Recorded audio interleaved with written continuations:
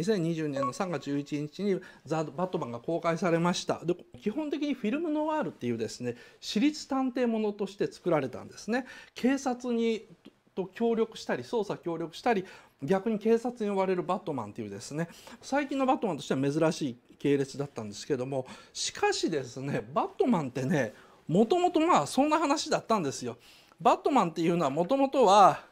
なんかこんなバカみたいなスーパーカーに乗ってですね。で全身タイツでですね。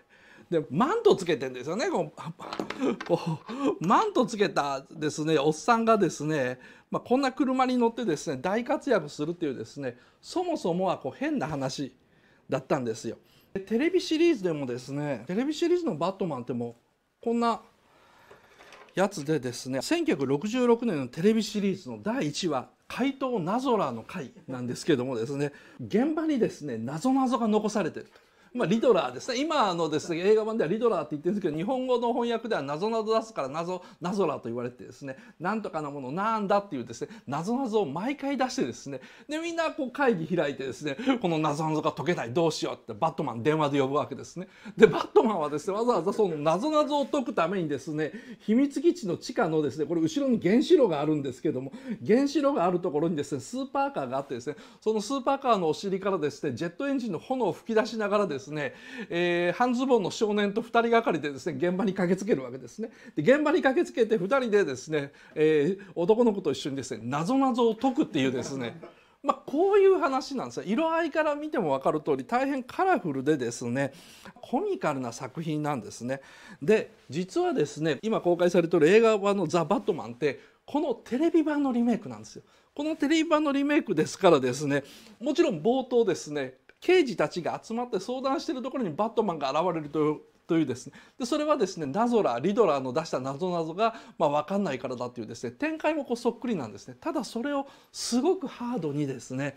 暗いテイストでやってるわけですね。でテレビ版の「バットマン」のですねリメイクだからですねラスト近くにこう映画版の「バットマン」もですねバットバイク登場するんですよバットマン専用バイク。でこれもですねクリストファー・ノーラン版とかではですねすごい今時っぽいなんかこうメカメカしいデザインだったのがなぜか思い切りテレビ版に寄せたですね。バカみたいなデザインに戻ってるところもですね。あなんか今回あえて原作版というかテレビ版に戻したなというところが僕はすごい面白かったんですけどもですね。1966年版ではですねカラフルでコミカルなイメージバットマンがですねいつの間にかクリストファー・ノーラン版もそうなんですけどもダークでハードなイメージになりましたよね。でそれは何でかっていうともちろん1989年版のですねティム・バートン監督の「バットマン」からなんですよ。そこから始まったんですね。でティム・バートンはですねバットマンといえばチープで当たり前だっていうですね1966年以降70年代まで続いたテレビ版のバットマンのイメージをひっくり返してですね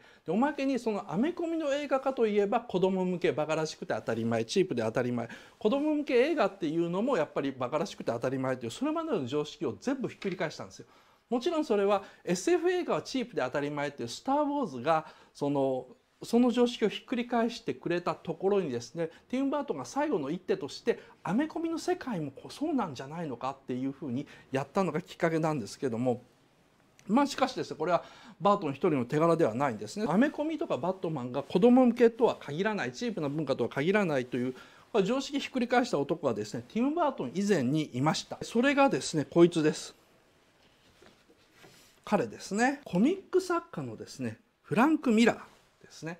アメコミを変えた、まあ、革命児であり天才なんですけどもですね1979年にですねマーベルコミックスでデビューだから割とのデビュー早いです。で1980年にですねデアデビルのアーティストになったんですけどアメコミの場合アーティストというのはつまり絵を描く人間なんですね。でシリーズ中盤からライターにもなった。つまりお話も考え始めたんですね。でアーティストでありライターであるというのはですねその当時分業が徹底していた時代のアメコミではですね大変珍しい存在、まあ、よっぽど才能があったということなんですね。で1983年にはですね DC コミックの方に移籍というかですねそっちでも仕事を始めてフランスのですねメビウスなんかの影響を受けた斬新なアートのですね SF 時代劇「浪人」っていうのをですね書くんですね。マーベルの方ではあの同じような作品しか書かせてもらえなかったとかいろんな事情があったみたいなんですけども、えー、浪人というのをあの発表しましたそして1986年ですね。ティム・バートンがバットマンを公開する前にですね「バットマンダークナイト・リターンズ」という漫画を描いたんですね。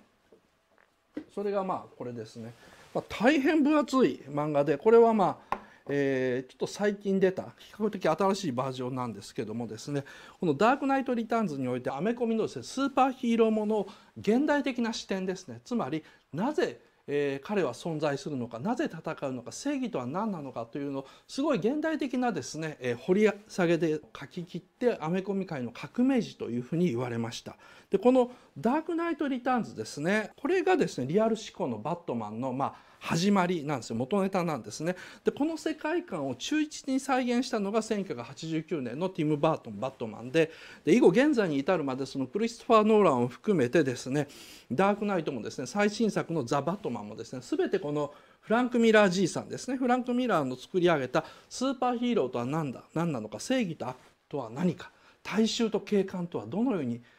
対立するのかっていうですね複雑な関係を描こうとしています。まあ、でここまでですね一旦ちょっとまとめますとですね、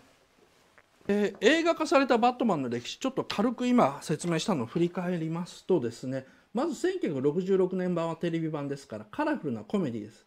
で1986年にフランク・ミラーというさっきのじいさんが「ダークナイト・リターンズ」っていう漫画を発表しましたでこれでバットマンは一気にですねコメディから硬派なイメージになりましたでそれを見たですねティム・バートンがバットマンですねゴシック様式というのを取り入れて、えー、バットマン全体をですねこのダークナイト・リターンズのイメージに書き換えていったんですね。しかしですねこのティム・バートンが抜けた後もシリーズバットマンの映画が続いてですねまたカラフルに戻ったんですね。ロビンなんかもですねバットボーイなんかも登場して徐々に徐々にですねあの変な方向に行ってですね売り上げがダウンしていったで一回バットマンのですね映画シリーズは途切れましたでその後ですね2008年にクリストファー・ノーランが「ダークナイト」を公開してですねまたあの硬派ハードなイメージになりこれがシリーズ再開しました。えー、しかしですねその硬派なシリーズを続けたんですけども徐々に徐々にですねマーベルのですねマーベル・シネマ・ユニバーシティシリーズみたいにしようとして例えばこうスーパーマンと対決っていうのがあったんですよ。それはもともとフランク・ミラー版でもあったんですけどもですねどうもそのマーベルみたいにうまくいかない複数のですねスーパーヒーローを立てて両方が対立しながら戦闘するっていうのはですね実はマーベルうまくいくの一個一個キャラが弱いからなんですよ。所詮アイアンマンとかですね所詮ですねハルクとかですね所詮そうだからなんです言い方悪いですけどところがですね DC ってキャラ数少ないんですけど強すぎるんですよね。スーパーマンってもう本当にほぼ宇宙一強いんですよ。でバットマンって考えられないぐらいすごいのでこいつら戦わせると本当むちゃくちゃなんですよね。だからそのマーベルみたいに複数のキャラクターがいっぱいいるからそれぞれなんか意地張ってたりするみたいな無理が効かなくてですね。どうしてもなんで喧嘩するのかとかどういうふうになるのかっていう結論までいかざるを得なくなって徐々に徐々にその DC のですねバットマンシリーズですね。新しく21世紀になってやってるバットマンシリーズっていうのは人気がまあ、落ちていった。そこにですね2022年ですね。今年今月「ザ・バットマン」でまた後半シリーズ復活して再びシリーズが開始したという。こういうふうな流れになります最後まで見てくれてありがとうございます。チャンネル登録もよろしくね。